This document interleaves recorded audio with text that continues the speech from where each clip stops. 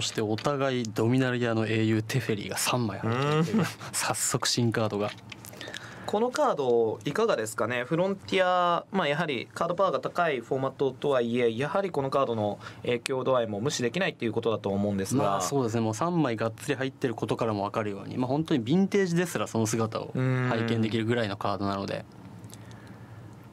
さあそんな中でまずは初手。これも非常に大事になってきますいい調子で迎えたいというところなんですがこれはどうだ、まあ、多分お互いキープですかね。そうですねキープしてそうですね。はい。木原選手の手札今寄れますでしょうか？うん、うん、もう最高ですね。バッチリ。しっかりジェイスもキープ。土地もある。状況もある。どんな相手が来ても大丈夫というところをまずは手札から伺えますもう本当に最高に近い。こちらも打ち消し除去という手札ですね。土地もあるというところでキープにまあ、かなり良かったです凶悪もありましたし、うん、でちょうどあの致命的な人押しが相手のジェイスに刺さる感じなのさまざ、まなカードにしっかり対処できるような手札。先行は神木原です。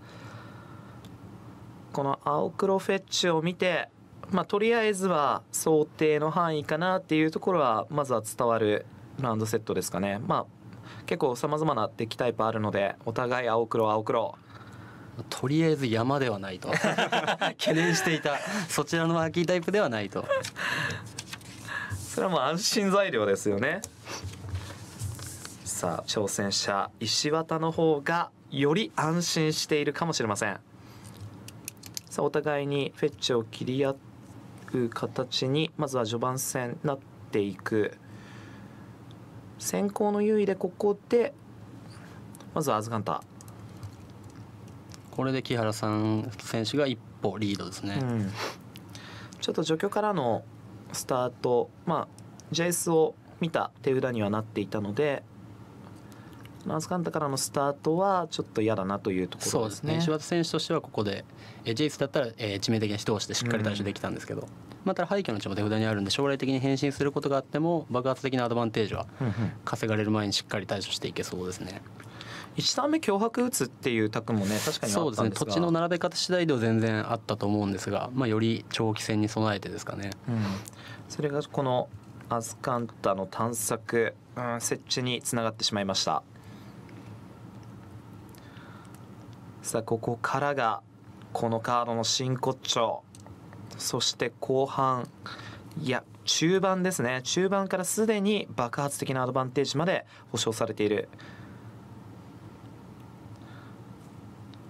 さあジェイスの並びにはすごく致命的な人押し。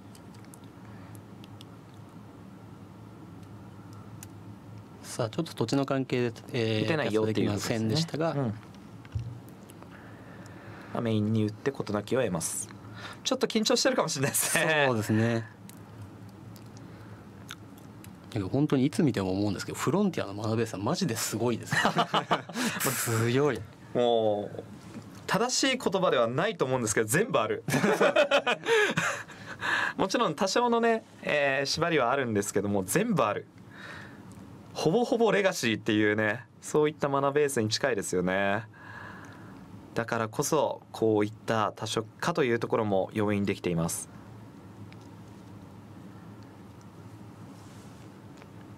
まあでもこのアズカンタが提供してくる手札の質っていうのは見逃せないですよね、もういらない状況は木原さんはこれから一生引くことはないんですが石渡さんはそうではないので。そういう意味でも黒いカードがねかなり目立っている石渡側がちょっと動きづらそうにしてますがこの脅迫からうまく絞っていきたい。さあこの手札公開していいものかどうか考えます。ここは否認を一発様子見。これは打ち消され最低限の仕事はしました。お互いメインボードと思えないですね。脅迫ネゲート 確かに。メインボードですかと。さあ巨人はいらないという判断土地が止まっているか止まりましたね。そうですね、まあ、あとはあの手札に確かコラガンの命令があるので、まあ、クリーチャーでしたらいつでも好きなタイミングで回収できると、まあ、そういった打つタイミングそしてカードのバリューを上げていくっていうアクションも取りやすくはなっていますデッキリスト。またやっぱりコントロール対決なんでまずは土地ですよね。土地が止まると行動回数に一気に差がついて不利になってしまうので、さあここでフェッチから山をセットというところで結構赤黒系のバー作りにはなっていますね。結構青のダブルシンボルも多いデッキリストにはなってるんですが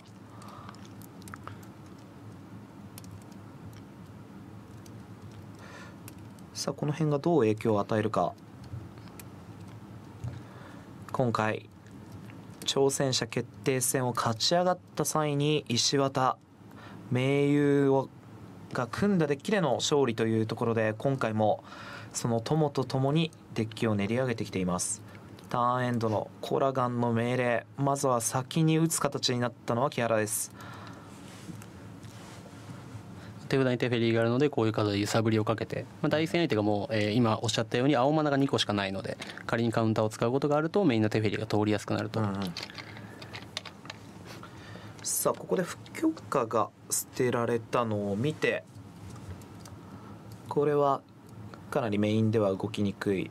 そうですがアズカンダこれは手札に入れるかどうかの判断も進んでくる。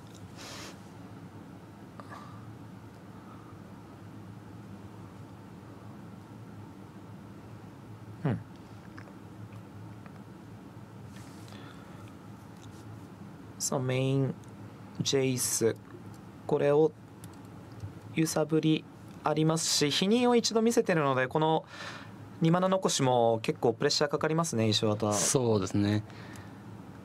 まあこういったカードで無駄カードで記念さばいていけると理想的ですが、うん。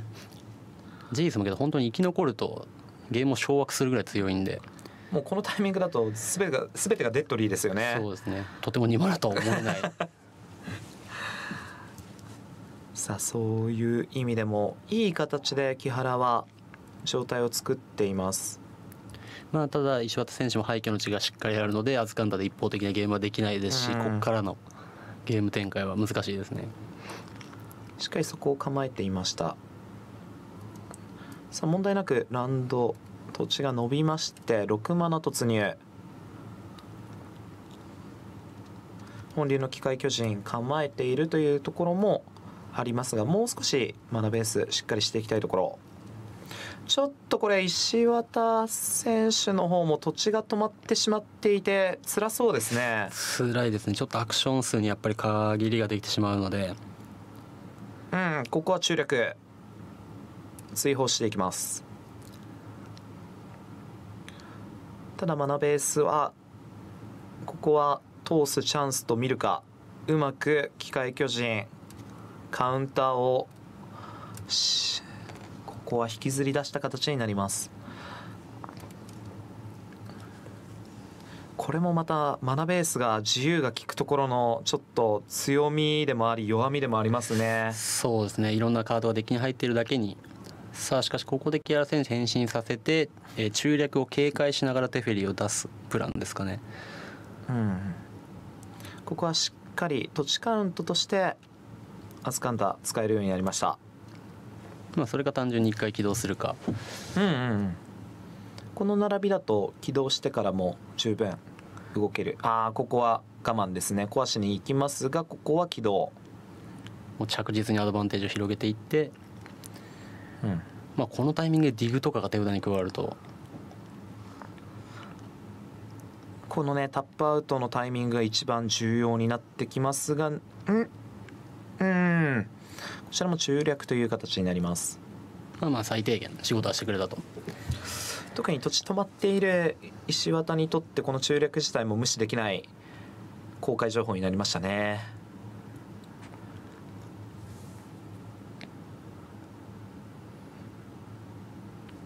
さあここは基本土地をサーチ。ここまでが廃墟の地の公開になっています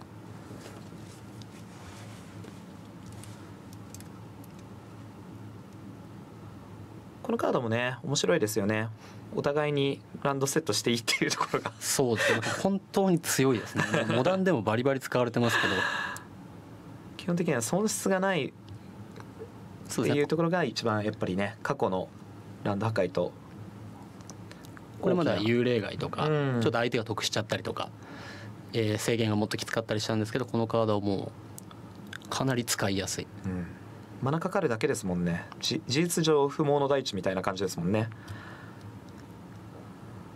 さあここでためにためてきた。動き始めますね、かなりいいタイミングですね。まあ、若干のマナが制限がかかっている中でのまずは脅迫。それに対応してコラガン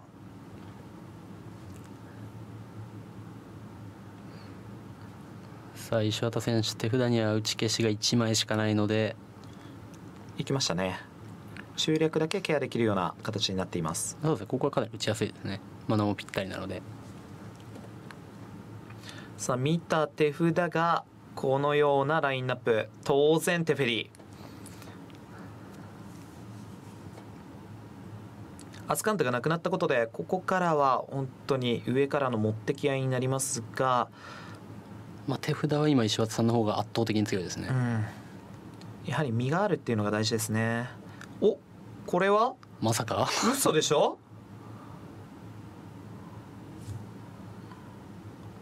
このマナだと。おお。関係なし。最強ですね。手札中略なんでこのマナを切るのも相当でかいですしうお引いちゃうんだなこれが。じこれ実質手札の損失ゼロですからね。いやすごいですね。これもテフェリ完腐って璧たんだよって。そんなバカな。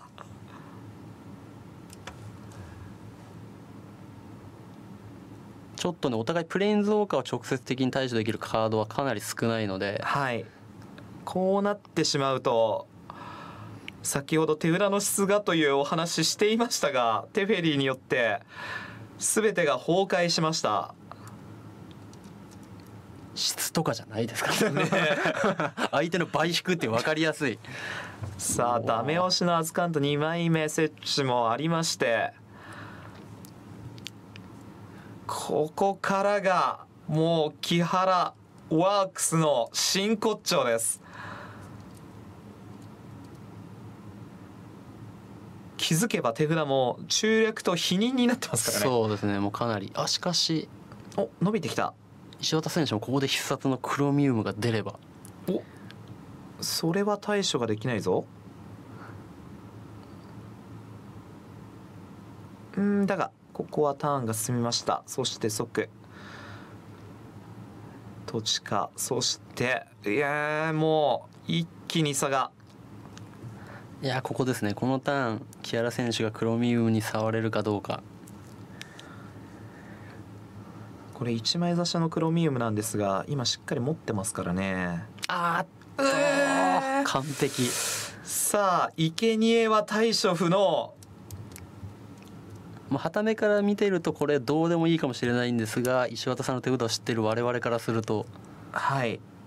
完璧な一枚ですね。この弾ける破滅を取っているというところがポイントになります。今回の木原敦樹のダークジェス界もう押せ押せですよね。ここまで来たらもう手札のアドバンテージを生かして。ジェイス自体ももう軽いアクションとしてもう対応がかなり厳しくなってきました。動くと手札がなくなる。手札がなくなるとさあきつい。コラガンでの対処手札はクロミウムテフェリーとなっています石渡。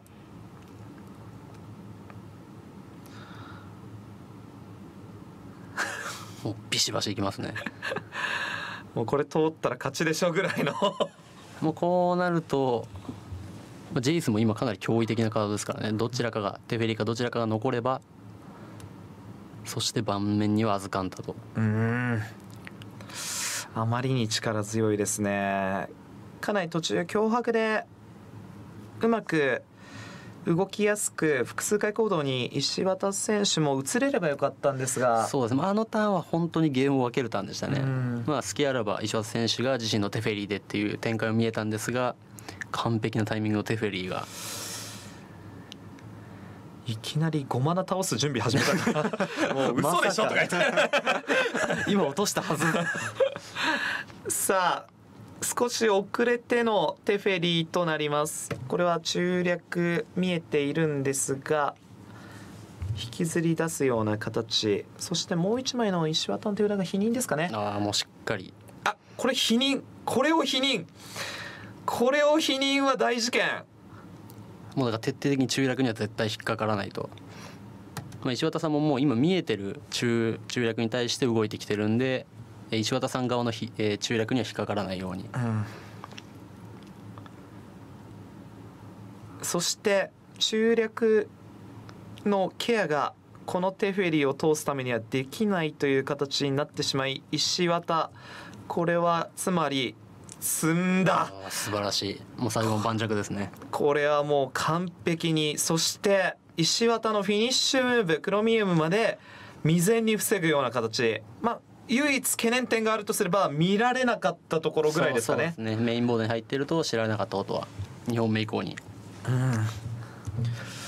いやーあの脅迫のタイミング石渡完璧だったんですが木原の前にまずは1本落とす形になりました。英雄が。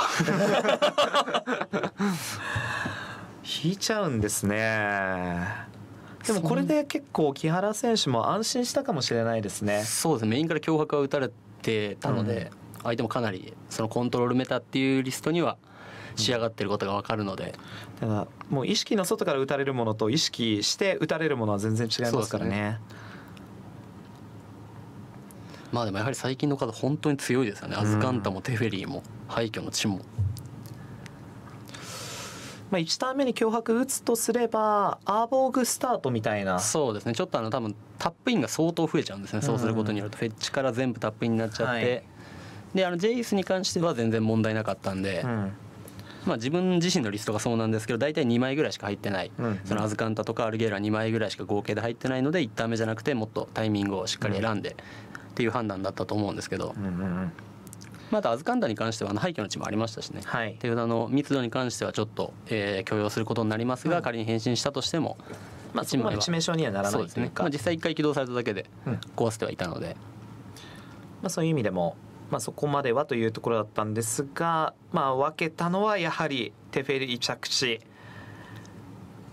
これをきれいに行われないデッキリストになっていたのに行われてしまったというところがポイントになりますさあ続いて石渡追いかける形になりました。メインボード戦2本目です。もうお互いやっぱりプレーンゾーンが着地してしまうとなかなか対処が難しいので、うん。今ここと言ってるかもしれない。なんであったしな。あそこで引いちゃいますかいや引けちゃったよぐらいなね開始ですよね。木原さんスリーブもテフェリーですから。なんだ本当に今日やりたい放題だ。正直者って正直者。テフェリーデッキにはテフェリー使おうみたいなね。さあ2本目。メインボード戦2本目となります。そういう意味でもまだまだ先に動ける権利を得られる。そしてリアクションスペル自体は、えー同等になっているというところなので、まあ、自分が攻める側にねできれば石渡回りたいところです。ですがしっかりとこのようなもうお互い文句出しですね、うん。石渡選手もかなり完璧に近いんですが。強いて言うなら脅迫から入れないぐらいな感じですかねありましたっけ？いやないですかったですよね。打ち消し呪文数枚とジェイスとテフェリー土地3枚ですかね。まあでもフロンティアあれですね。マナベースは強いんですけどやっぱ土地の置き方は難しいですね。ちょっと慣れてないと他のフォーマットとは全然違うので、まあ、そういう意味でもどうしてもちょっとタップイン入ってしまうとかそうそうですね。そういったところがね強く影響出てますね。さあ大草原青白ランドからのスタート。ここまでは先ほどと一緒です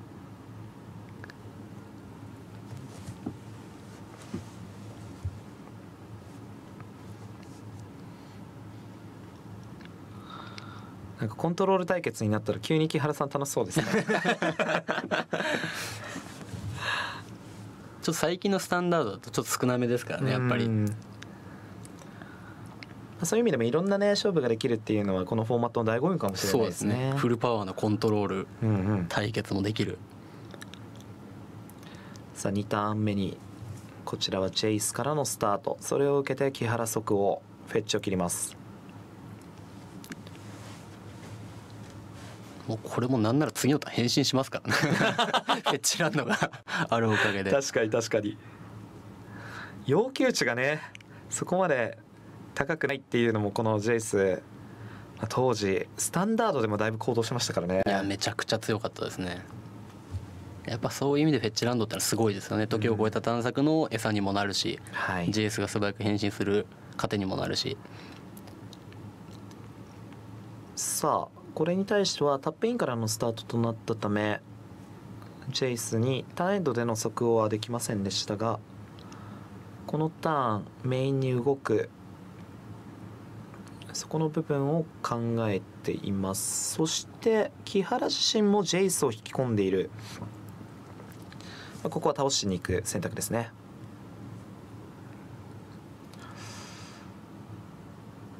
さあ能動的に動けるカードはおおむねジェイスアスカンダーここら辺にお互いあるというところは1戦目の応酬でまずは見えています。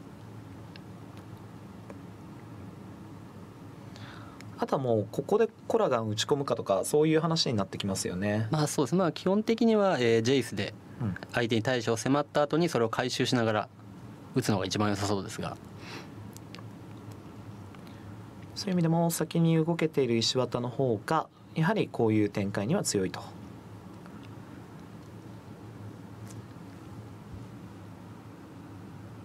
さあ木原のターンエンド宣言を受けてそのままターンを返します。もうすでにディグも手裏に入っているということでここからの動き方石渡注目です。もうディグモフェッチを切れば打ててしまう、いうん。や本当に。本当にすごいんだ。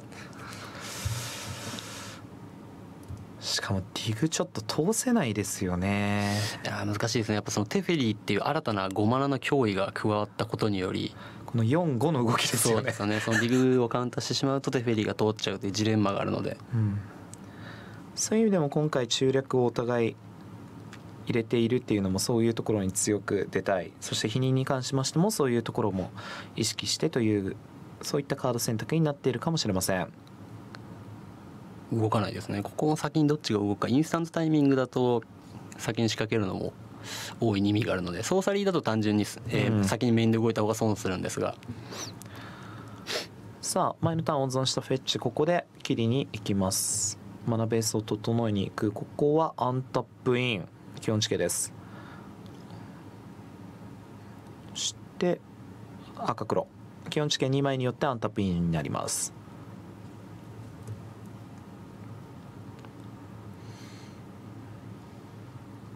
さあこの構えは。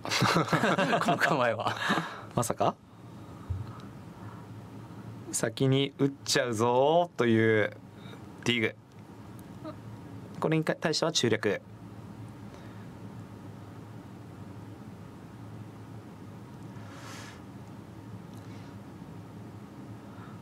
ここで引いたのが土地ではないというところでいやうん土地を探したい。土地引いたっぽいですけどね。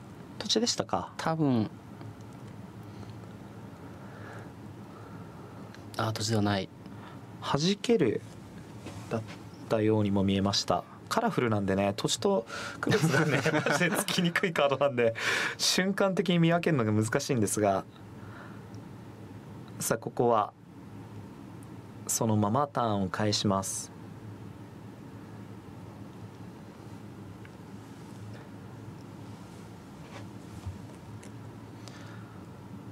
さあ石渡としてもここでしっかりと動きに行けるそういった状態です。さあ石渡のディグにはこちらも中略を飛ばし残り2マナとなりました。いやこれでもまだまだアクションがあるのが このフォーマットですよね。おしかし行きましたね。これはガン押しの構え持ってないだろうと通通った石渡賭けに勝ちました。手札には打ち消したっぷり。テフェリーの後にこのアンタップによって構えることができます。いやこれは度胸の勝利ですね。これ押し込めたの大きいですね。大きいですよここなかなか踏み込みづらいですけど。もうディグ打ったってことはもう行くしかないっていう判断ですよね。まあ、多分ディグ打つ時点でそこまで決めてたと思いますけど、うん。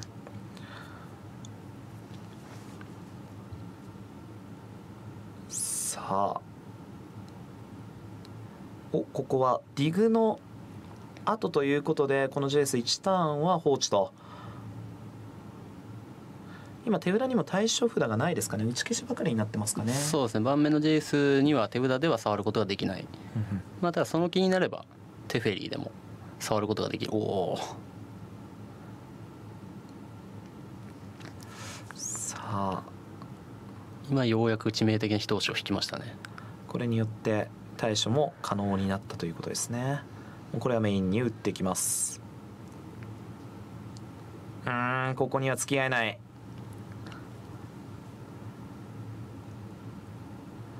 ターンエンドのアンタップ。それを見た後に打っていきます。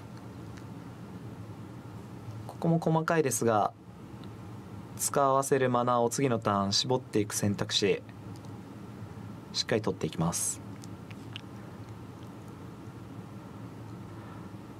さあちょっとここから木原選手地獄ですね。そうですね。マナサーも単純に今土地の枚数も相当負けてるんで、うん。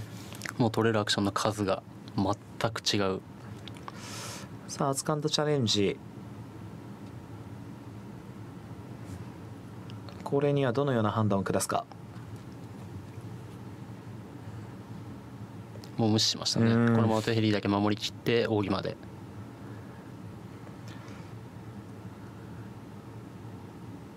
やはり時代はテフェリーなのかこのフロンティアにもテフェリーの魔の手完全に及んでいます。ドミナリアルの英雄はどんだけ強いんだ 半端じゃない。さすがに奥義やばすぎますからね。そうですね。扇使って負けたことまだないぐらいの圧があるんで特にこの現状はもう無理と判断しました。石渡待望のメインでの1勝これにて1勝1敗の状態でサイドボードに移ります。コラガンの命令は大丈夫です。弾ける破滅は確かルールの変更によっはい。て入れられなくなったと思います、さあここの条件もう完全にお互いね自己紹介が終わった形になってのサイドボーディングになりますので。まあ木原さんもサイドから脅迫を入れたり、うん。苦渋の破棄を入れたり。はい。でお願いしますさあデッキリストもね見ながらね、ちょっと津村さんには語っていただこうと思うんですが今おっしゃられた脅迫はまずねそうですね。これはマストで入れていきたいというところですかね。まあ、あとは苦渋の破棄が入ることによってプレーン増加とかにも触りやすくなりますし、もうどう見てもライフどうでもいい マッチアップだったので3点のペインも何のその、はい。まあ、あとは下の2枚ですね。クロミウムと、えーボ没収のなんとかはい。杖、曲がり杖、湾曲？湾曲ではない。ワワンワンがないです。ね 何かの没収の杖はい。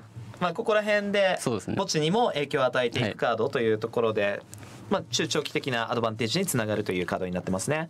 除去がまずはさっぱり抜けていきますかね。ただ致命的な人押しだけ残すいや難しいんですよね。弾ける破滅とかの方が先に抜けると思うんですけど、うん。まあ、やっぱジェイスってめちゃくちゃ強いんで、はい。致命的な人押しをどれぐらい残すかっていうのは経験によりそうですけどね、うん。まあ、無視すると死んじゃいますからね。変身するとゲームを掌握してしまうぐらい強いんで、うん。まあ、ただコラガンの命令もあるのでその本当に全体的に除去を何枚ずつ残すかみたいなかなり入れたいカードは複数枚あるけどもというところですね。対して石渡挑戦者のデッキリストこちらはサイドボードはかなりミッドレンジを意識しているというお話もありましたが追加のフィニッシャーも入りそうですね。そうですね。特に今見えざるものの熟達2マナのエンチャントなんですけどこのカードの与えるインパクトはうんうん。ほんまもんですね。アズカンタとかに全然負けないぐらい強いカードなので、軽別あーえー、とこちらも、えー否認を追加というところになりそう。プラス損因の同士メンターまでそうで入れてはいおかしくないとは思います、状況を抜かれる読みでね全然こういうカードは入ってくる可能性はあると、まあ、そこも含めて石渡選手がどのような戦略でね今日臨んでいるかというところ。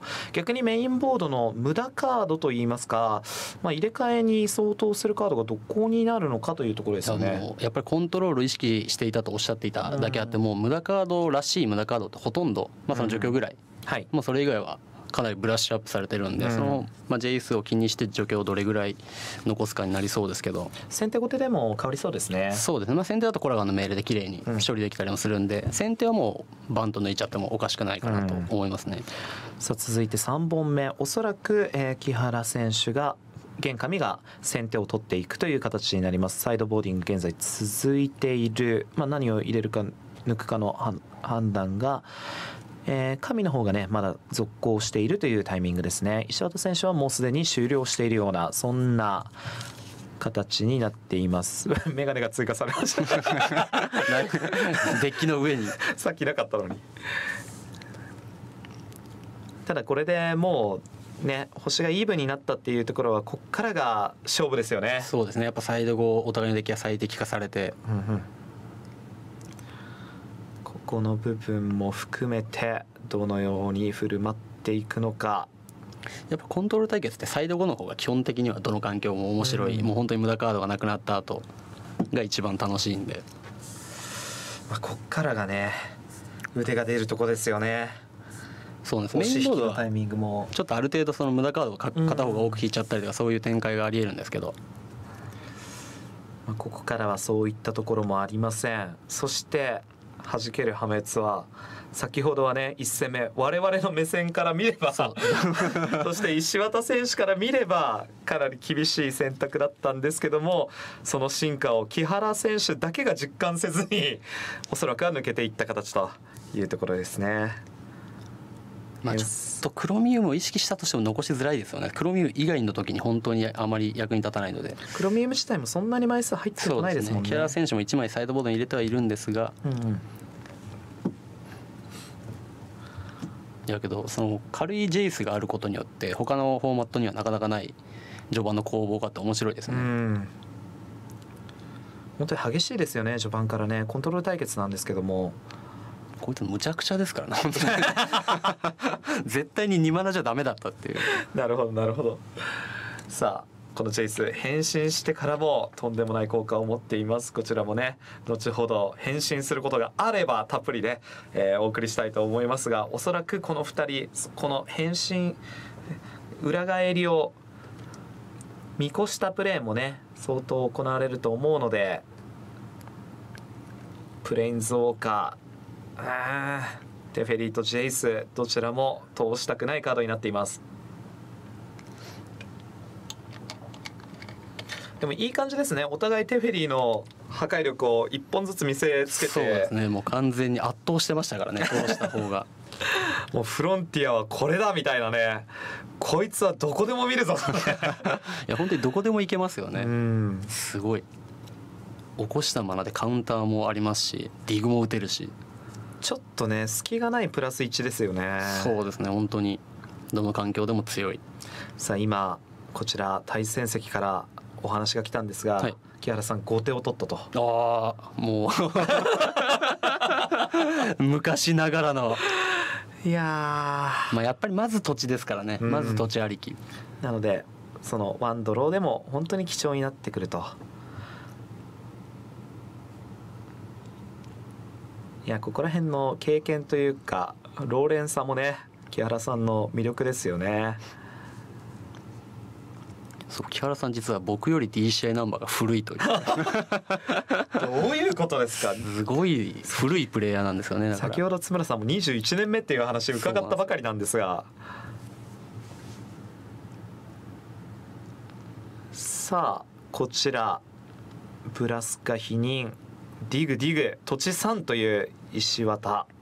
まあちょっと序盤のアクションはないですがまあまあギリギリ土地引けるといいですけどね対する木原7枚かなり考えていましたがこちらは土地が若干少ないですが2ターン目ジェイスから入れるというところを重視しています。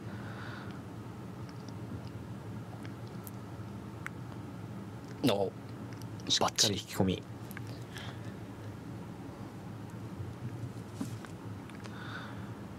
さあ1ターン目のセットラウンドからしっかり悩んでいく。序盤難しいですね。中盤以降ってもう全部アンタップインで出てきてくれるんで楽ちんなんですけど、うん序盤は本当にしっかり考えてやらないとどっかで動きがいびつになっちゃうんで。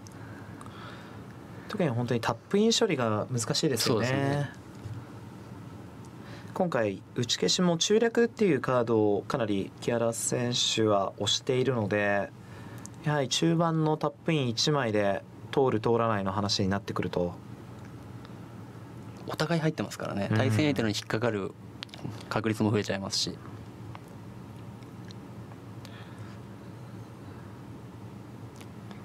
さあじっくりじっくりいきたいところです。さあメインにフェッチを切ったということはジェイス。まずは一発お願いジェイス。さあ手札がシャカシャカ始めたということは怪しい動き石渡。これはどうだ？見える限りは？触れないですね。これが通ると大きな事件。高校の木原がまず盤面にジェイスを着地となりました。サイドボード後やはり打ち消しがカウンターが抜けないっていうところもあってちょっと手裏の偏り的にはねこういうこともありえるとは除去は残したとしてもどうしても減らしてはいるんで。うん。さあメインフルタップのジェイスに対応がないというところも木原には伝わりました。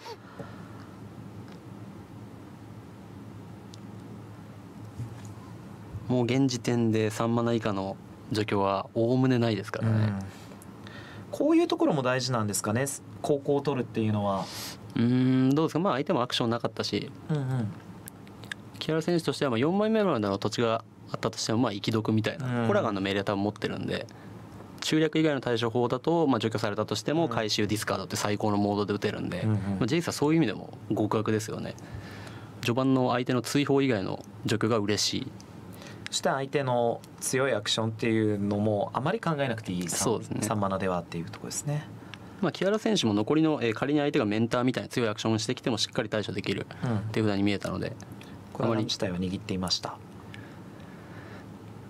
さあジェイスが火を吹いています。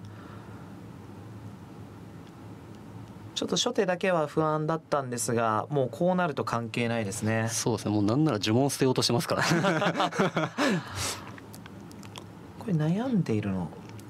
クロミウムですかね。はいクロミウムでしたね。うん、まあ、ちょっとまだ遠い。うん。やし回収もできるし、っぱり回収できるっていうのがポイントですよね。そうですね。クリーチャーに関してはもう容赦なく。うんうん。まあ、今回コラガンの命令の枚数は木原が4取っているより安定的にそういった戦略が取れるようになっています。逆に石渡選手の方はかなりカード散らしてますよね。役割的にはね。そうですね。打ち消しも厚めに取ってますし。そういうところもあるかもしれませんさあしかしここで仕掛けていきそうですね。うん。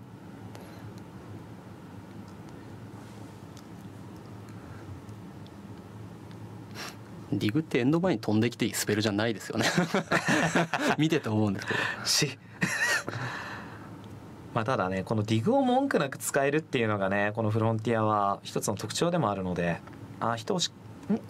えこれブラスカですね木原選手墓地3枚ないですかね。3枚あるとちょっと今画面には2枚しか映ってないんですけどもう1枚あるとフェッチを切ってジェイスを起動すると変身できそうですけど、ここまでの動きがフェッチ1枚とジェイスの起動1回なので2枚ですかね。2枚、うん。まあ、ただ何かしら墓地にカードが落とすことができればこの隙に。このフェッチで3ジェイス起動で4ですかねまだ変身の条件は達成できない。ということは除去は感化するという形になりそうか。まあでも苦渋の破棄もいいカードですね。仮に何か出てきても、うんうん。ああ行きましたね。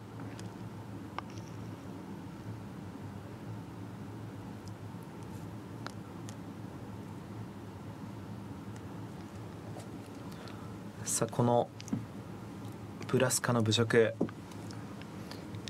木原選手はもうワンアクションして、えー墓地を増やすと変身条件が達成できます。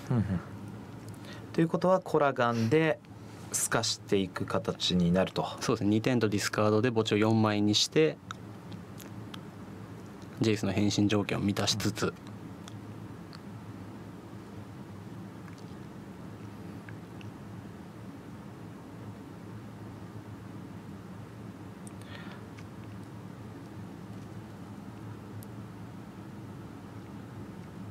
ここで起動です。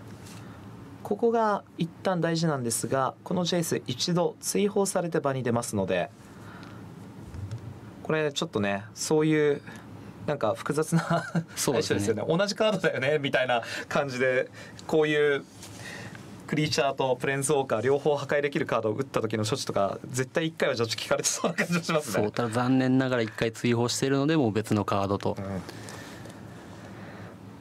これ同盟でも対象変わったっていうあえっ、と単純に裏返るだけでも裏返るだけだと一瞬壊れちゃうんですかねルーリング的には。裏返るだけだったら多分大丈夫だと思うんですけどそうですよね。1回追放してるせいでうんうん。それが叶わないと。さあここもリグでなんとか挽回したいところではありますが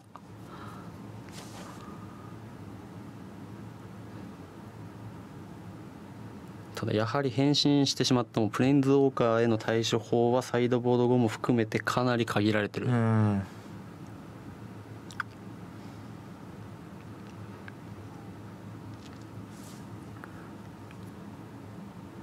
まあ裏返うん裏返った後、まあちょっと木原さんがそんな能動的に裏返すかどうかはうんうん。わからないですけど、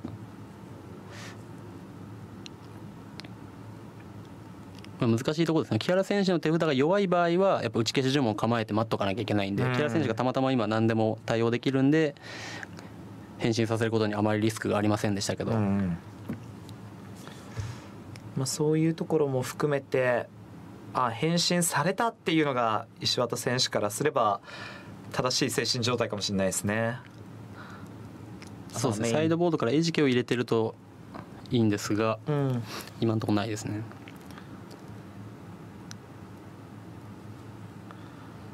さあメインディグだけ打つだけの形になった石渡。こうなるとジェイスがアクティブになります。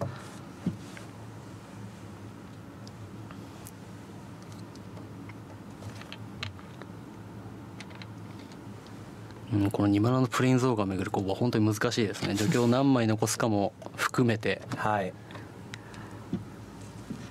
さあマイナス1効果コラガンの命令が墓地から打たれます。これをなんとか打ち消して事なきを得ます。虚空の粉砕。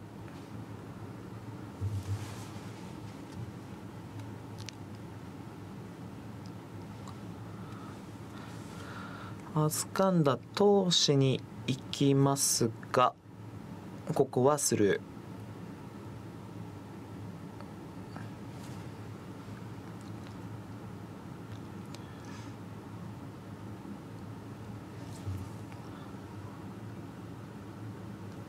から先手数がこのジェイスによってかなり変わってきますので、まあ、そういう意味では木原選手としてはかなりゆったりとした展開を望んでいるという状況になっています。そうですね。がぜん仕掛けやすいですね。手札もかなり強いのでいつ仕掛けるかみたいな。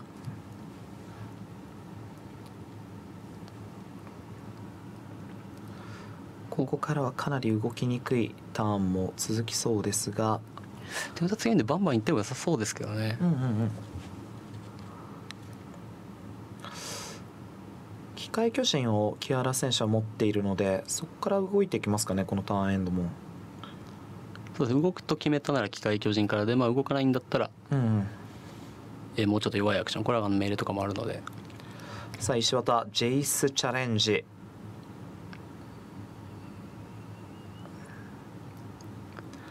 これは即対応がありそうです。コラガンクロミウム回収。そろそろ出番がありそうだ。このデッキにできないことはあるのかと。何でもできる。すごいですよね。このクリーチャー回収も本当にえぐいですよね。このサイドボードから1枚差しのクロミウムがしっかり活躍できますからね。ね。こういう形で。しかも手札で腐らないっていうのが最初に捨てれるのが大事ですね。序盤にあんな気軽に ジェイスでポイってしといていやいいいいアクションですね。いやこの苦渋の破棄土地でないパーマネントを破壊できるインスタントということでね。この33で動かれてだいぶ手札使わせられますからね。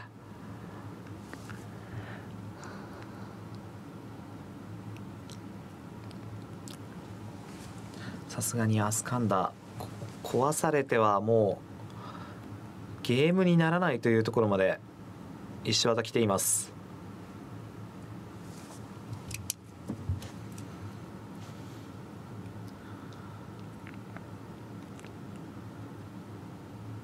関原何でもできますのでうん。テフェリーもありますしまあただその操作リタイミングでちょっと大きなアクションを取っちゃうとリスクが大きいのではい。どれで仕掛けるか。ちょっと手札重いですね。リグがうん。いっぱいあるんですけど。リグ2枚テフェリークロミウムそして機械巨人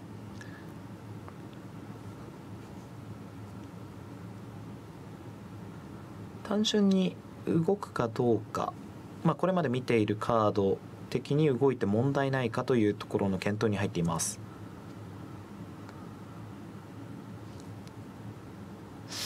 うん機械巨人を使っちゃうと最終的に相手のプレーンズウォーカーが通った時に対処法がなくなってしまう。うん。うん難しいですね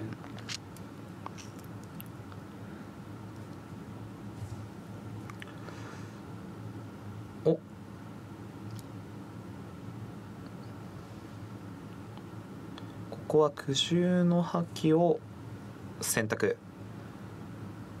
もうアスカンダを壊していくということでしょうか。ちょっとカード視点もね。その前にディグ。なるほど。ま あこれで脅迫とか、えー打ち消し呪文が手に入ると安全にアズカンと追放できると。いやここもうまいですねもうジェイスも墓地に落ちたのが利点になってます。すごい話です。苦渋の破棄だけを残してディグを打てるようになりました。そして脅迫がきっちり入っている。完璧ですね。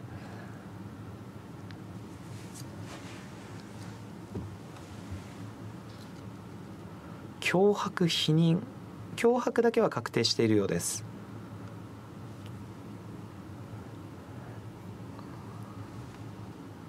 脅迫アスカンだか否認かで悩んでいたようですね。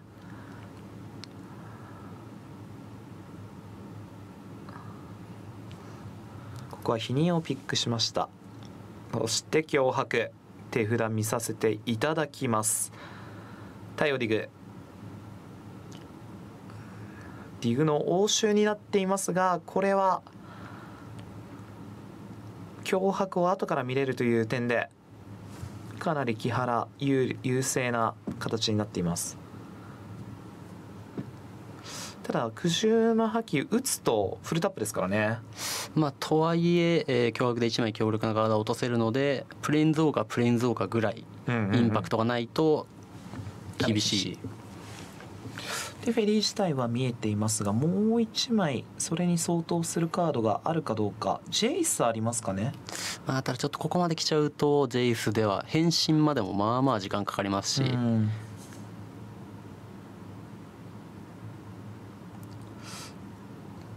うんテフェリー・ジェイスを持っているように見えますが。あそうですね。他のカードがちょっとインパクトに欠ける感じですかね。これはあの命令と打ち消し呪文とかしかない、うんそれであれば結局ここのタイミングにつけ込めないカードになってしまいますねそうですね。それでは脅迫解決。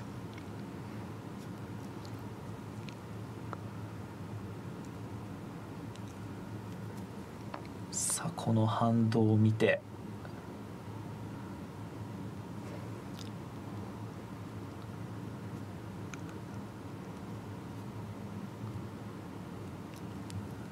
うんかなり石渡としては厳しい。まあ検討はしましたがやはりテフェリーここを落とすということです。さあ石渡先ほどのやり返しができるかこのドロー。ジェイスエンド。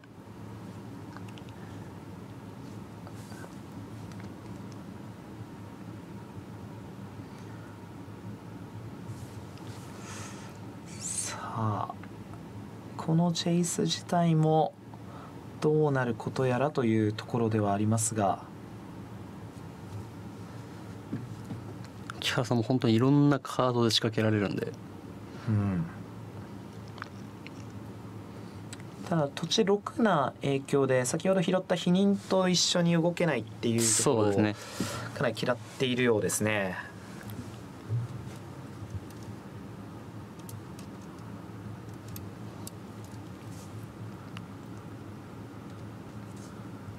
さあここは押す形。それを受けている。これはトップデック。しっかりと。これ入れてましたね。そうですね軽蔑的な位置。一撃追加の打ち消しで、まあ、かなり軽くそしてこういったプレスウォーカーにも対応できるいいか打ち消しになりましたね。ただ相手の反動を見ているという点であまあ間違った間違った。待望の。こんなタイミングで出さないと。相手の反動見えてますからね。餌食ですか まさに餌食っていう。ただその餌食にしっかりと対応ができる。まあもうもちろん先ほどの軽蔑的な一撃は食らってしまいましたがさあジェイスは一度お帰りいただきたいと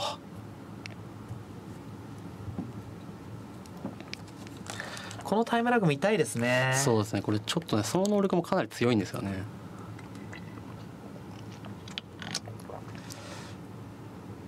そのデッキトップではなくて結構下に埋められるっていうところがすぐさまプレイができないというところになっています。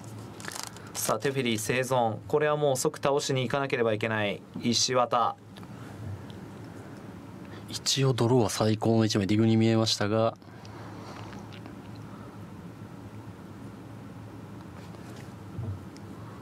このディグで再びジェイスを引っ張る動きにななるのかどうか。うんちょっと難しいですけど、まあ、ディグを打ってみて、えーまあ、クロミウムへの対抗策がなかったらコラガンの命令とかが探せるといいですけどね。そうすると餌食を温存したままテフェリー殺せるんで。でちょっとねクロミウム拾われてるんですが先に打ちますね。平式このカードも紅葉がついていて1枚で2面取れるようなカードになってるんですがこの相手にはやはりプレーンズウォーカーを破壊するという生贄に捧げる効果が強力になっています。さあ木原クロミウムチャレンジ始まるのか？うん脅迫ディグ。機械巨人と非常にいい手札そのように見えます。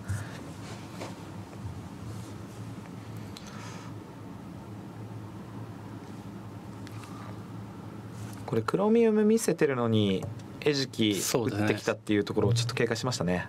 まあ、それをどう捉えるかですね。それでも言っても良さそうですが。機械巨人からのスタート。7ディグ。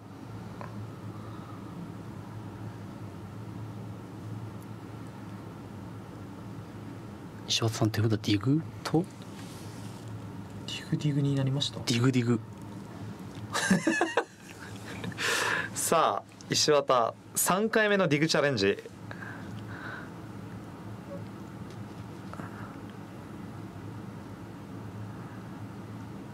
木原選手はただもう次の土地を引いたら脅迫からクロミウムみたいなかなり完璧な動きが待ってるので、さあ土地多めな形ですがテフェリー。うーんただここテフェリーいや厳しいですね。木原選手としてはこれに石渡選手がついてくるようだったらメインで脅迫から、えー青巨人出してディグっていう動きもできるので、うん。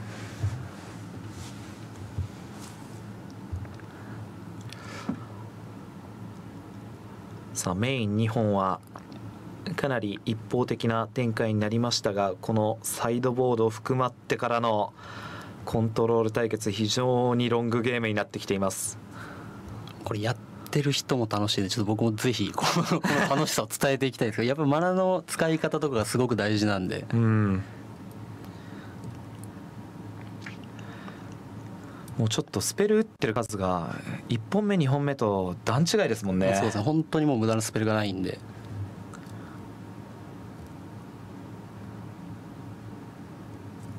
ここの選択まとまるでしょうか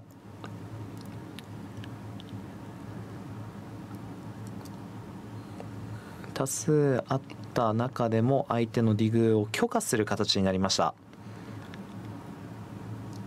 こうなるともう木原選手は脅迫からガンガンいきそうですけどね。脅迫否認。否認否認中。あの2枚は何なんだすごい気になりますけど、まず除外したんですかね。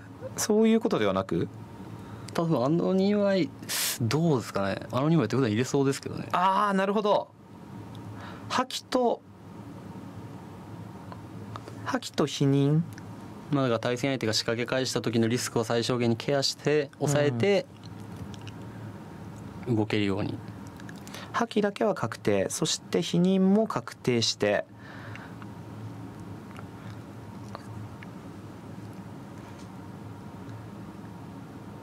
いきました。さあこの脅迫あなたのディグ。中身見せてくださいの合図がこのような形。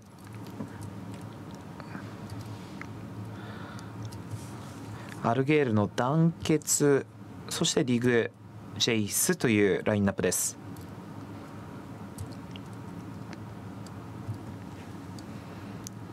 まあ団結かディグか。まあ何にせよかなりこれで動きやすくなりますね。うん。ここは団結からのスタートそして機械巨人。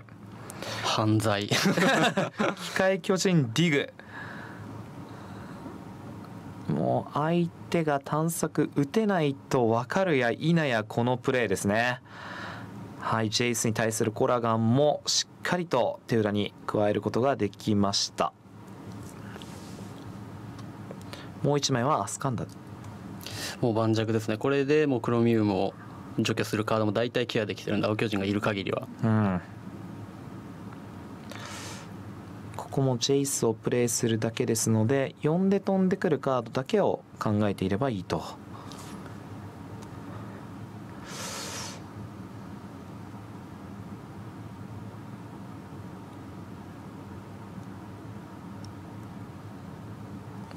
うんちょっとこのジェイスの変身スピードの差も気になるところです。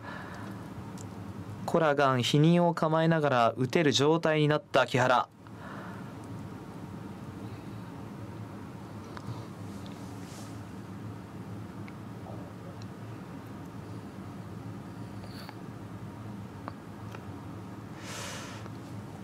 なんとか打ち消しは構えている石渡ですが不許可を手裏に持っているが青青1はもう絶対に残さなければいけない。ですが飛んでくる。このジェイスが守れるか。守れない。守る判断をすると負けてしまう可能性まであるがただこのジェイスしか心の拠り所がない。この不許可をまずはお膳立て否認されます。これにはもう打つ手なしという形になりました。サイドボード始まった3本目は上木原が取りましてこれで防衛に王手です。まあやっぱり序盤のジェイスが生き残ってかなりアドバンテージを提供してくれてっていうのは大きす大きかったですね。ジェイスは本当に難しいですね。状況残したくないんですけどあれだけ強いとやっぱり。人押し自体もねやはり枚数ジェイスとの10日の枚数4っていうところがまた難しいですよね。ね。しかも殺したとしてもコラコマで帰ってくるから本当にその殺すことにうん。どれほどの価値があるのかって打ち消しまあ中略がやっぱり一番いいと思うんですけど、うん。ただ中略をジェイスに刺すためには先行を取らなければいけないとかまた難しい問題がありますねさあ神が王手をかける展開となりました。サイドボード後デッキが最適化されてからのコントロール勝負はやはり木原に長があるか。そしてサイドボード後の相手の動きを見てから再びの検討どのようなカードが効くのか。そして失われた遺産効くのかどうかとか。そういったところまで考えを及んでますかね。入れますね。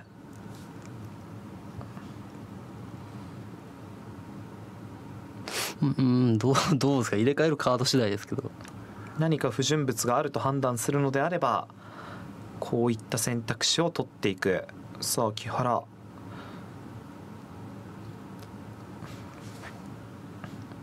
言うてさっきのマッチ5手取ってますからね、うんそうですね。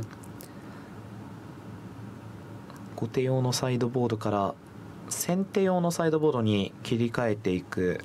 まあ、そうですね。対戦相手の先手を取らせてくれるだろうということで3ターン目に打ちやすいからかとかそういう理由もあるかもしれない。まあ入れ替えるカードはちょっと見てみたいですけど。ちょっと機械巨人に触ったようにも見えましたが。対して石渡なんですがこれサイドボード15枚にジェイスありますね。そうですね。1枚減らしている。やはりスペースを作るためにそして手数というところを求めた時にこういう選択肢もありかと。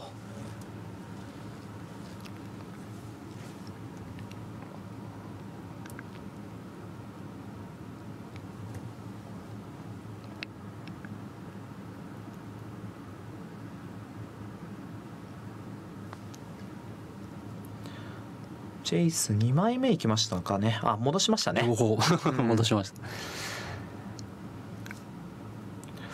かなりデッキのバランス難しくなっているようにも見えますが。いや難しいですね。まあでもジェイス仮に相手が出してきたとしてもまあ最悪除去じゃなくてもジェイスでは返したいかなと思うんでうん。まあ、やっぱり4枚あった方が。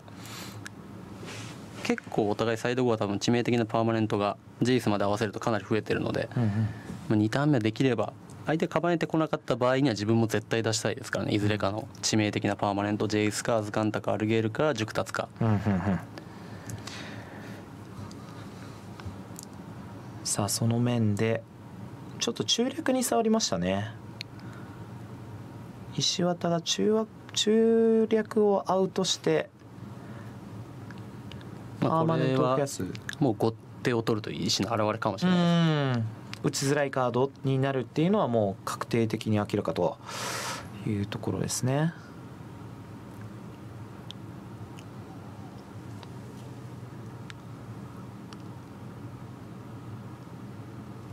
さあそういう意味でも木原も先行の時のデッキに最適化をしていったというところでしょうか。まあそれも見越してね自身で後手を取るっていうところも見せつけてる感はありますけど。いや難しいです。まあ基本的には本当に土地が何よりなので、うん。まあ後手をお互い取っていくと思いますけど。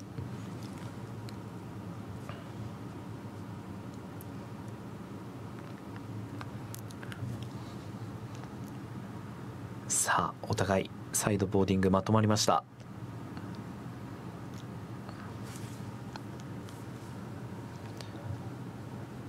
この石渡選手に関しても先ほどからまあね自信のほどはっていうところでダークジェス界にうまく当てれればっていうお話はしていたんですけども現状星の上では一歩劣っている状態になっています。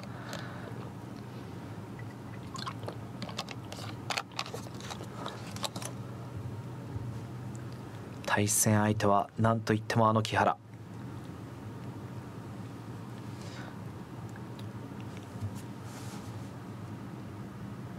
フロンティア神決定戦の木原の勇姿を追いかける形で今回は自身が挑戦者となっています。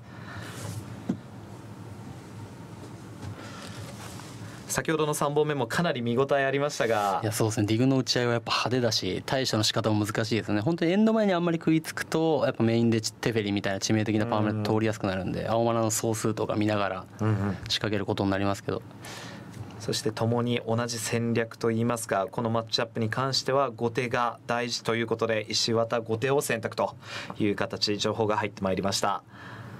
木原が先手ですまあ、ただディグに関してはある程度手札が強い時は早く打っちゃった方がいいかなって気はしますけどね。それで相手の対応でちょっと相手の手札も予想できたりもするんで、あんまり我慢しすぎるとどんどんどんどん後手後手になっちゃうんで。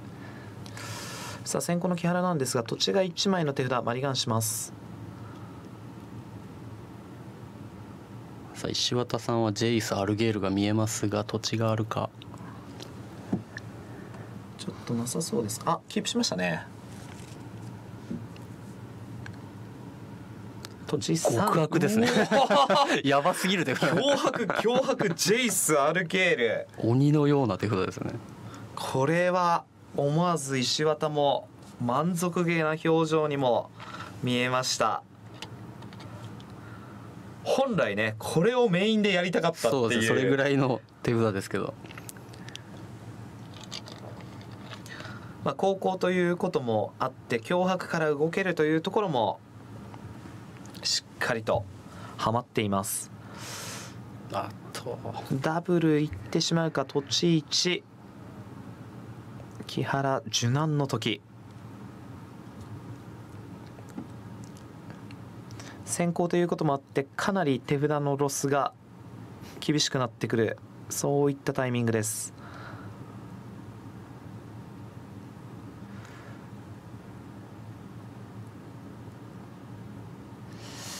うんまあ、一応最低限の、ね、序盤の動きはあるのはあるんですがあ行きました。ああキープ。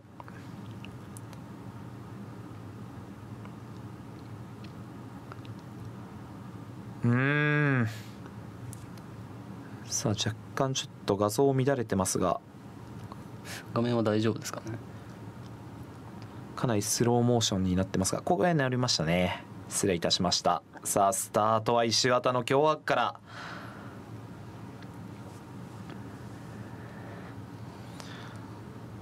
木原の兆候の理由がここで判明します。全てが丸裸。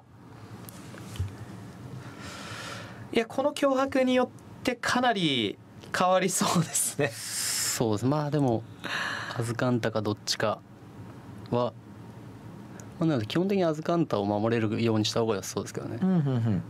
あ8期からスタートですか？あ脅迫でも脅迫からうん。スタートですかね、脅迫脅迫の流れになります。脅迫を落とします。戦術上って。分かりやすい。まあここはね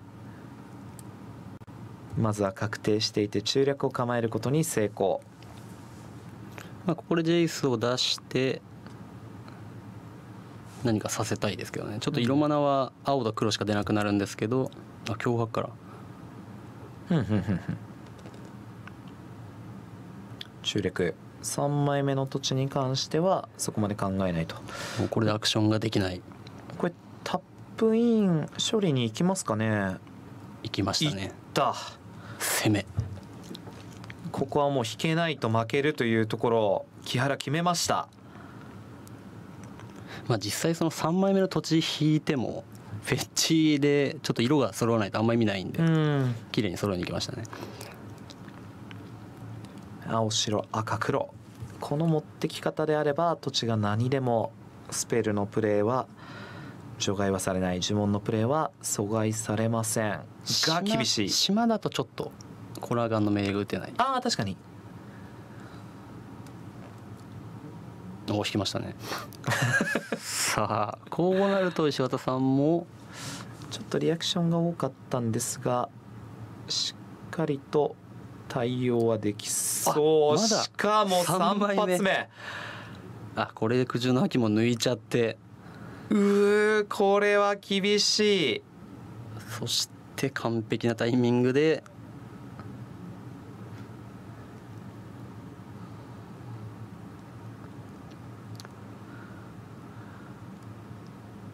ここで島を持ってきてアンタップインランドもありますよと見せつけてのアルゲールの団結。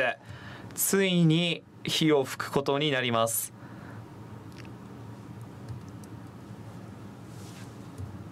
まあ、もちろんカードを引くのにマナは必要なんですが、まあ、この相手であればね。そうですね。もうライフが本当にもうないも同然ですからね、また条件満たせばね土地になるっていうのも大事ですね。そうですね。意外と裏面強いですしねいや脅迫3連発とはさすがに木原も予想していなかったかと思いますがここからの逆転プランというのがそもそも作れるかどうか。いやちょっと土地も止まってしまったんでアルゲエンチャントは唯一と言っていいぐらいダークジェスカイが触りづらいカードなので。さあここでトップしてきたジェイスプレイしますがそれに対応してまずはワンドロー。通す？全く問題ないという石渡の手つき先ほどとは明らかに手の動きが違います。おおテフェリーもいけるか。白マナが白マナがないですかね。赤マナとコラガンの命令はあるんですが、白があるとテフェリーという恐ろしい選択まで、さあ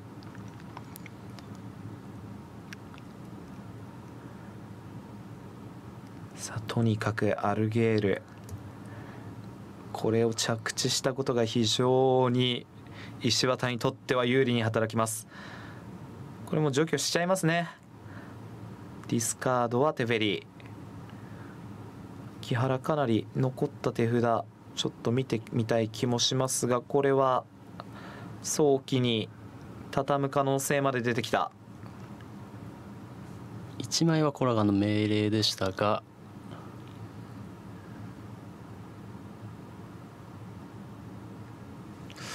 ちょっとコラガンでジェイス通すしかもうプランニングないっていう形なんでしょうかね。いや厳しいですね。ちょっとディグぐらい。おディグが。このタイミングで。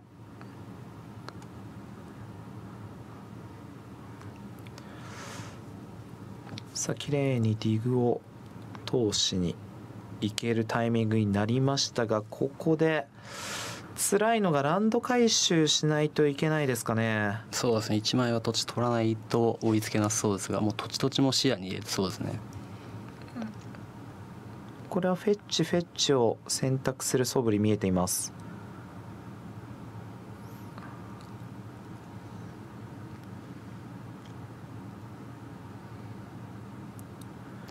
現状はターンエンドのアルゲールの起動によって体力10ライフが12になってますね石渡、まあ、ただそのライフ面は正直問題ではない。それよりも手札の質量全てにおいて石渡が凌駕しています。圧倒的ですね。土地も倍ありますからね。さあ先ほどディグ通されたんですがもう手札潤沢ということでもうカードも引きに行きません。もうちょっと引いた方がそうですけどね。ちょっとまあ、ジェイスがうん。あの確実に変身させたかったのかもしれないですけど。あそこでマナを使っちゃうとジェイスが確実には変身できないので殺されてしまう可能性があるので。ここだと木原選手のアクションを見て、まあ、弾いてしまえば変身絶対できるので。うん。まあその誘いの形にコラガンで乗っかる形。それを打ち消して石渡もジェイス変身。これ虚空の粉砕もいいですね。追放の打ち消しっていうことで。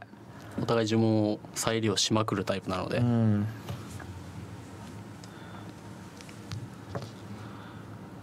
さあやってきた。束縛なきテレパスジェイス。ここからさらにアドバンテージが広がっていきます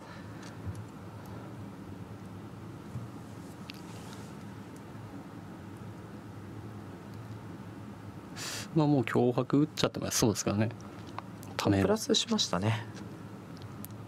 全く焦っていない。そんな石渡になっています。まあ、手札は今もう、えー、餌食もあるんでプレインズドカー仮に取ったとしても大丈夫ですし、まあ、今のところそんなにもう恐れを抱くカード自体がそもそもないので、まあ、ここからドローに当てていってアズカン、えーアルゲールのドローに当てていって手札が充実したら攻め始める。うんまあ、いつでも脅迫打てるっていうことはビッグアクションにかぶせて打ってっていうところもありますもんね。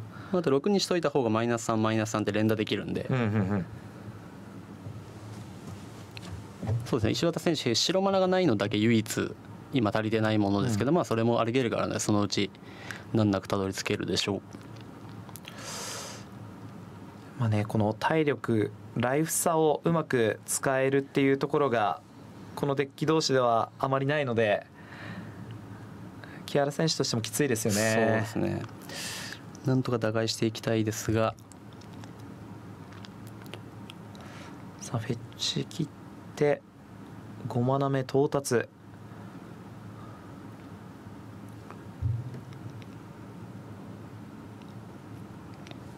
でフェディこれが通ればワンチャンスという木原の思いをぶつける形まあただうん難しい。マイナスしてもすぐ帰ってくるしプラスしてもうん。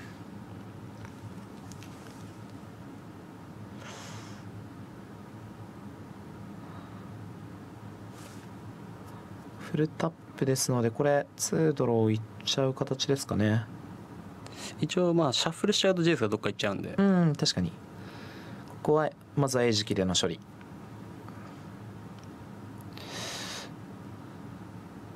となると攻めたいところなんですが。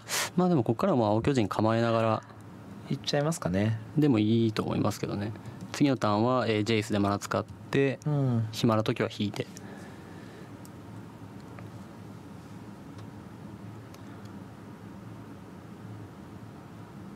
さあメインでワンドローします。ちょっと白マナ引ければ置いちゃうかというようなプレーですかね。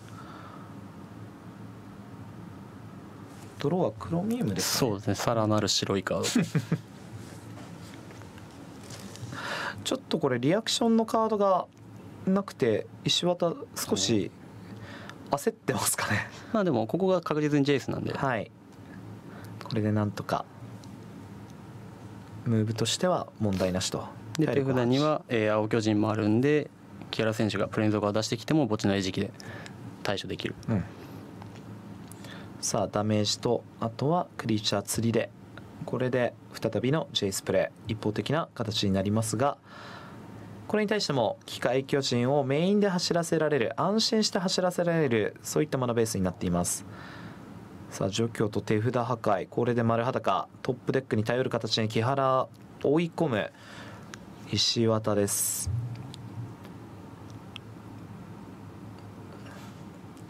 ここも大事ですね。先にドロー前にフェッチ切っていきます。さあディグから青巨人対処ができると良さげなんですがちょっと1枚だと厳しいですよね。なかなか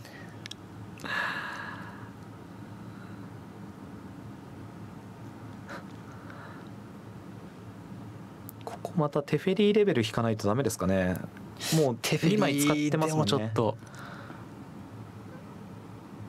うーん。一押し残ってますね。さあ。本流の機械巨人があとは数発殴って終わりという状態にもなっていきます。ここで白マナ引きましたがまああえて見せない形でも全く問題ない。あ起きましたね。まあ今フェッチちょっと切りたくなさそうなアクションをずっと続けてるんで、まあちょっとライフも気にしつつ。先原もう1枚ずつカードを引くしかない。先ほどの芳醇なゲーム展開はどこへやらという4本目になっていますさあ体力ライフは4ただアズカンタがアルゲールがどんな不安も解消してくれる。さあ裏返りました。変身です。さあクリーチャーを生贄に捧げる準備は常にできている。6点回復は常にできる状態テフェリーを置いてもはや盤石といった構えになりました。あフェッチ先がない。なるほど。あ確かにもう。基本地形全部できってますもんね。確かにないかもしれないですね。赤黒もあるのか。最後にこれ失われた遺産叩き込みますが要するにちょっと手札見せてよとデッキですね。デッキもそうか。デッキもそうなんですがここは不許可でターン。このバトルを終わらせました。2対2コントロール対決。フルセットまでもつれ込みます。最後また 後手を取る木原選手が。やっぱりもうそのその後手を取るっていう戦略相当効いてましたね。先手で無理やりワンラウンドキープさせられて。うんうんうん。やっぱ先手と後手だとマリガン1回の応用全然違いますからねいや土地こそ途切れなかったですけど最初の3ターン。そうそういう問題じゃないですそもんね。うですね。まあ、結局どっかで止まっちゃったりうん呪文が切れたりするので、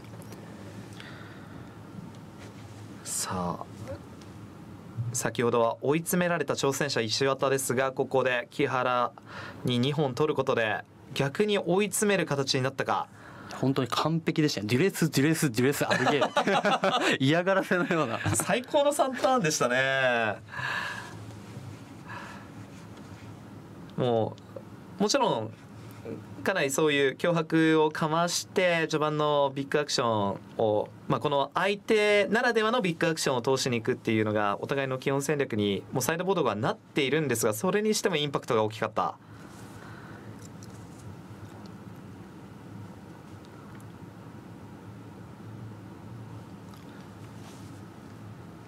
崎原方向修正若干の修正を余儀なくされているかサイドボーディング行います。まあ方向を取るのはおそらく見えているって形ですかね。そうですね。おそらくは変えてこないと思いますけど。ちょっとアルゲール嫌でしたね。まあまあでもみ見たのが嫌ですよね。見えちゃっまあそうですね。たのが、まあ木原選手もアズカンタ2枚しっかり入ってるんで、うん今の時点では分からないんですけどお互いまあその枚数に関してはそこまで差がない。お互い2枚で石渡石渡選手だけ、えー、熟達分1枚多いんですけど。うん。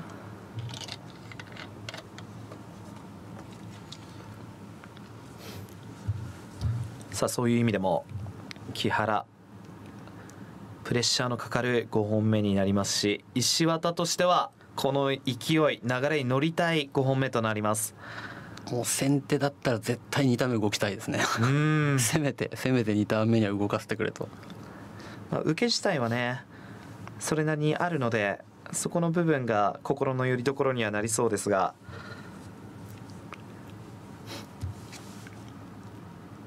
先手の理想はもう2ターン目致命的なパーマネントを出してあとはもうひたすら受ける形。そうですねそれを生かしながらちょっとここまでの4本はその形もそうなんですけど、まあ、かなり致命傷に一方的になる展開が多かったですね。そうですね。やっぱりアズカンタなりジェイスなりは。うん。特にさっきのジェイス、えー、3本目のジェイスですかね、あれはい。が一番衝撃でしたね。強かった、うん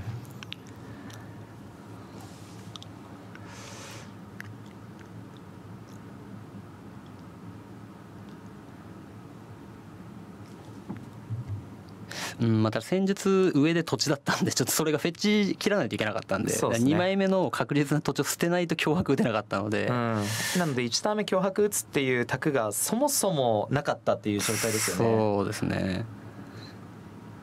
はい。下からの情報でこの5本目木原5手を選択と。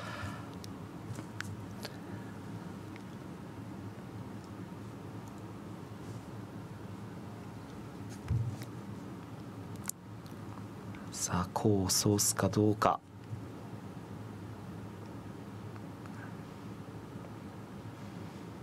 先ほどは不調な手札が続いた木原ですが今回は土地はしっかりありそうです。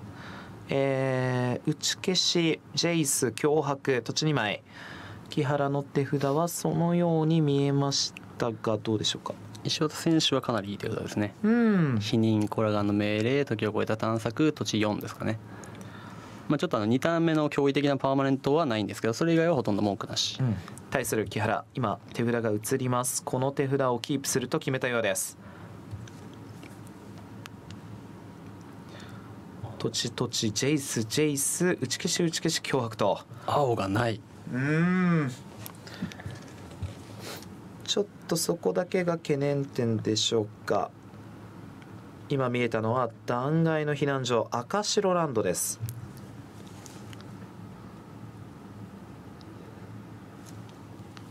さあしかしこれでコラガンの命令さえ抜いてしまえばまあただちょっとジェイスが今現状確定してないのでまあディグとかを抜く可能性もありますね、うん。否認はとりあえずなさそうですがディグか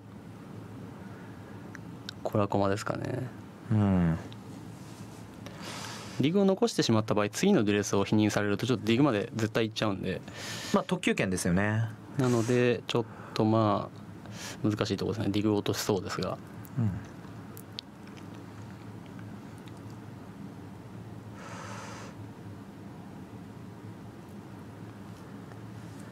ーん。さあこの脅迫の選択によってかなり木原この後の展開が変わるか。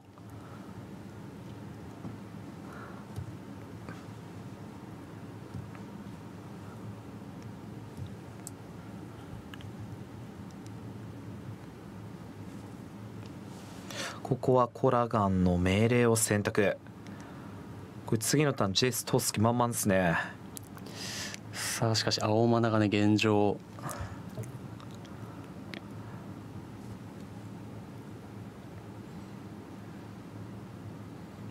これはどう持ってくるのか。あ普通にしましかなそうですね。まあ否認見えてる否認はしっかり構えてという形になります。さあこのドロー木原非常に重要どうですかね引けてないように見えましたが。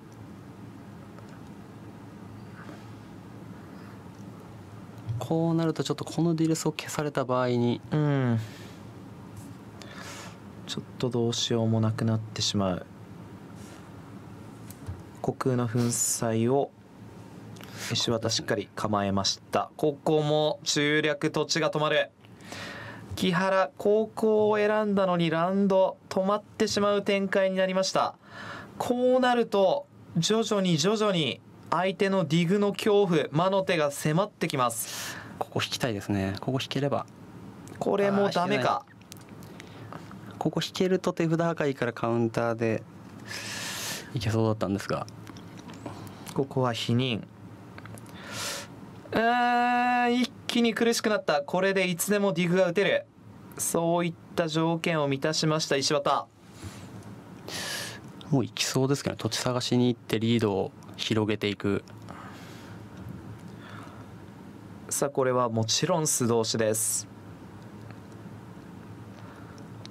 さあ盤石な状態を石渡構築していきますよりどりみどりな7枚の中2枚目のディグも見えました。土地も見えました。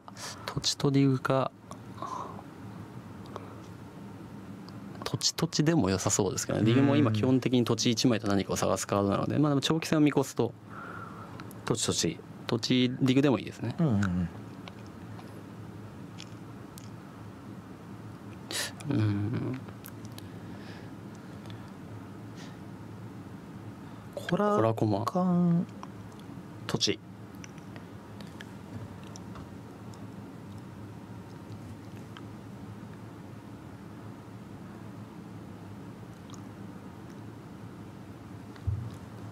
もう手札のクロミウムが何かされた時のことまで考えてですかね、ん。一番早く勝てる。対戦相手が土地が止まってる間に早く攻めたいんで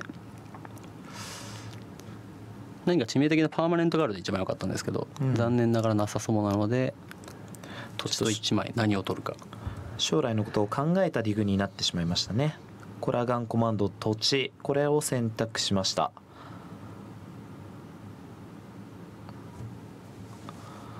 これこうなると木原選手青物引いたらまだ下りそうな感じもしますね。中略がしっかり仕事をしてくれそうですここでも致命的なパーマネントが出てこないのであればこれ下りましたね。まあただやはり土地の総数は基本的に木原選手は1ターンに1アクションで制限。石渡選手が今エンド前に仕掛ける場合はもう全部通っちゃいますし。さあこうなるとちょっともう8枚目ディスカードに移ります。ジェイスです。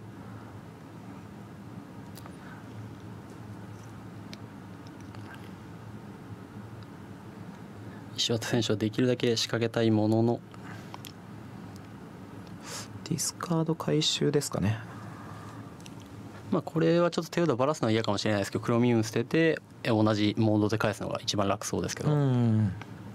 ただここにカウンターを打ち込みました。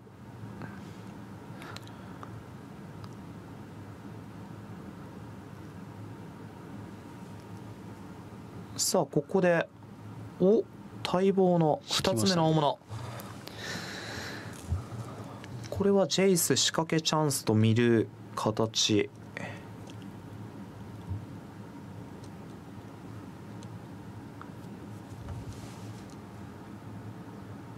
行きましたね。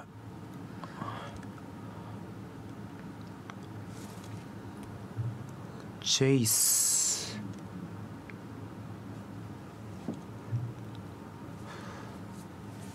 ちょっと木原も形になってきたのが。そうですね形にはなってきました確かに。これ石渡としてはちょっと事故につけ込めなかったの嫌な感じにはなってきましたね。まあまだうんそうですね土地の分しかちょっともう余裕がないので。うんうんうん。まあこれは弾かれそうですよね。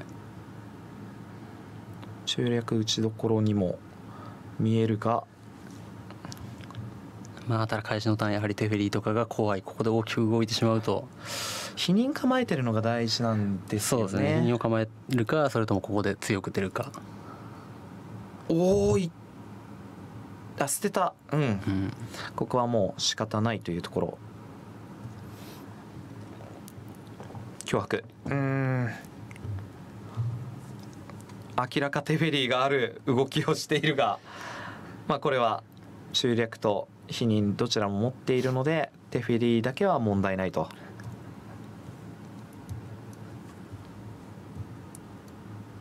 クロミウム1マナ足りないです。うん。さあ次もけど青マナを引くとディグカウンターみたいになるといけそうです。まあここでディグか否否認が落とされて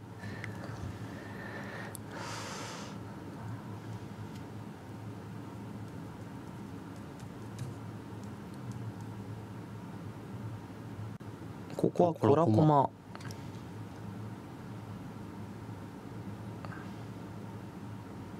なるほど。あなるほど。ジェイスを引いている。このジェイスによって随分なアドバンテージ差が生まれてくるという形ですね。うんここもやはり青が2個しかないのでちょっとディグが通せもしないし動きづらいですね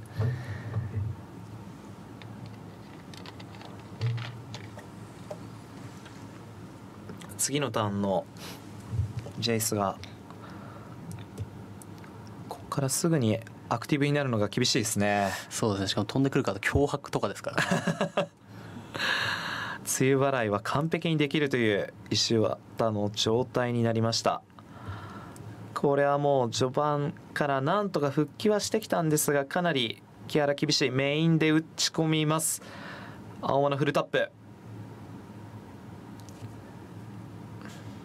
まあもうこれぐらいしないと追いつけないですよね。通らない限りは。うん。なんとしてもこのターン土地を置かないといけないですよね。そうですね。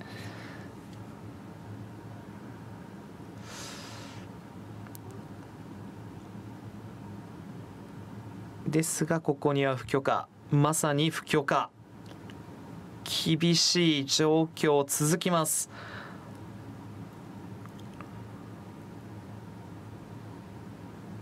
これは土地を引き込みましたね。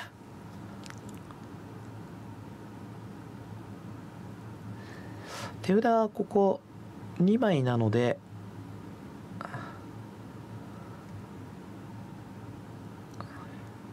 ちょっとクロミウムの運用難しそうではありますが。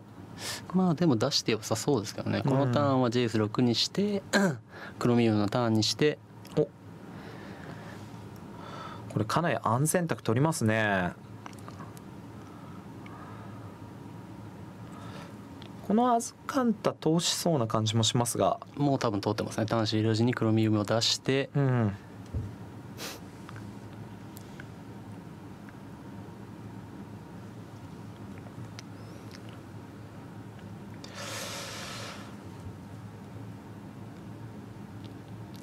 厳しい。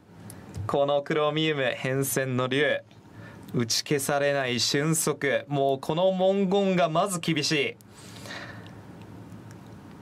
早期にこの試合を終わらせに行く形を石渡完璧に作ることができました。まずはこのクロミウムの一発。さあこっからジェイスでデュレスかディグか。ディグにそうですね。ここはディグですね。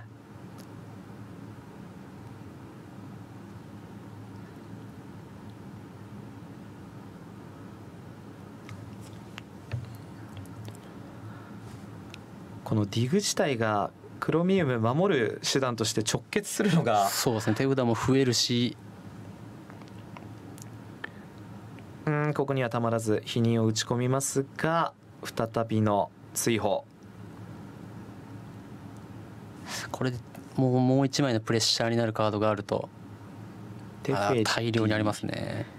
熟達。うん容赦なくここはピックしていきます。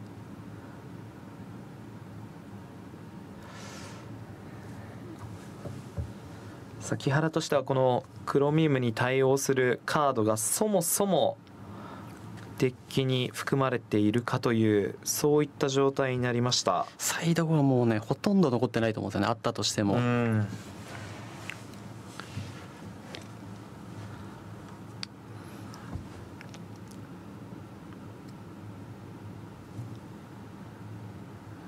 ェッチ切ってもう一度もうもはや自分のデッキを確認してるかのような。まあ、まずはクロミウムへ触れるかどうか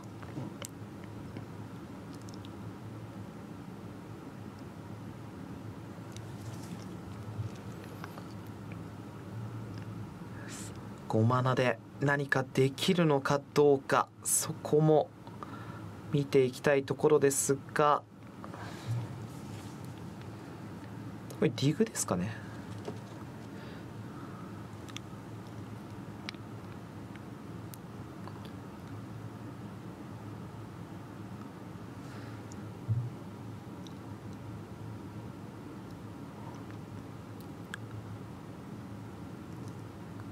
もうここで欲しいカードがそもそもものすごく限定的ですからね。クロミウムに触れるカードと手札破壊とか。そもそもというところですよね。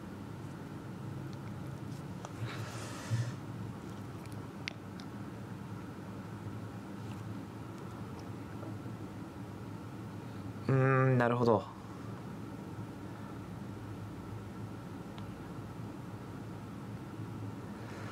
さあこの手札を見て。いやーどちらもきついですね。熟達は熟達でもうクロックになっちゃうしテフェリーもはい。やはりあれほどゲームを支配してしまうので。ここは熟達を選んでターン終了フルタップです。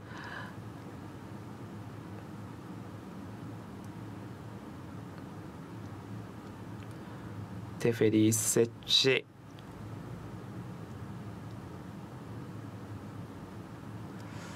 そしてここは文句なくプラス。土地がアンタップします。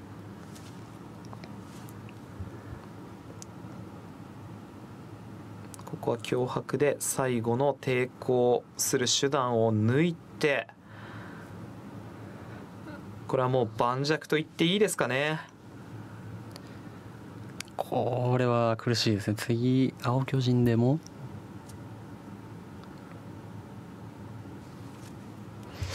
次青巨人でも。まあ、無理ですね。けジェイスで戦闘前にコラガンの命令にフラッシュバックをつけて殴ってもいいですし。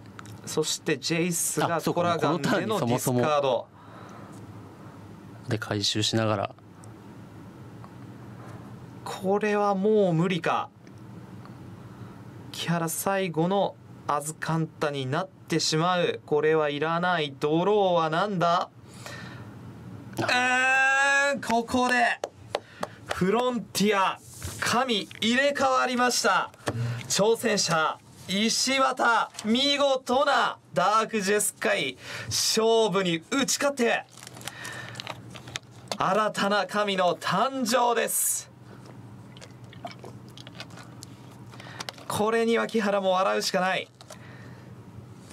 いや最後はねちょっとマナートラブルもありましたが、まあ、難しいですよね。あの青マナ引くだけで最高の 手札になる初手脅迫ジェイスジェイスだったんで、はい。脅迫ジェイスジェイス打ち消し打ち消しみたいな、うん。さあ石渡100点満点の笑顔。を共にデッキを作った友に届けとトロフィーを掲げました